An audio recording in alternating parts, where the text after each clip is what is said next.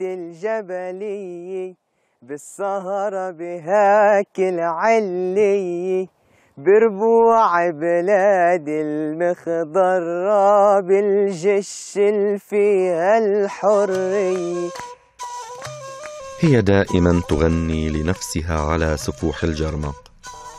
قرية الجش التي هاجر إليها لبنانيون قبل أكثر من 200 عام ثم هجر منها فلسطينيون إلى لبنان عام 1948 كنعانيا قبل آلاف السنين كانت تسمى أحلب لشهرتها حينها في إنتاج الحليب. ولعل هذا السبب في الاسم السرياني لها جيش محلفو أي الكتلة البيضاء. ومنه سماها اليهود جوش حلاب وسماها الرومان جيسكالا وفي لفظ آخر جيشالا ما يوضح إذن سبب التسمية الجيش. سكانها اليوم ثلاثة آلاف نسمة. أكثر من نصفهم مسيحيون غالبيتهم موارن من لبنان.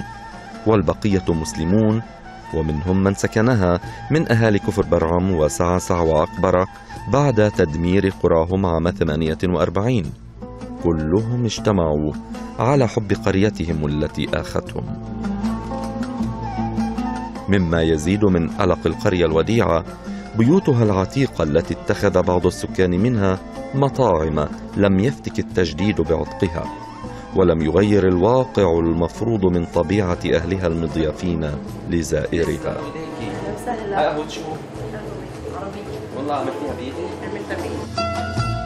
الجيش مشهورة بحقول التفاح والكرز والخوخ وغيرها من الفاكهة نظرا لطبيعة تربتها الخصبة. طبيعة خلابة هي من سلالة الجليل ونسل جباله. من قرية الجش في الجليل الأعلى محمد أبو عبيد العربية.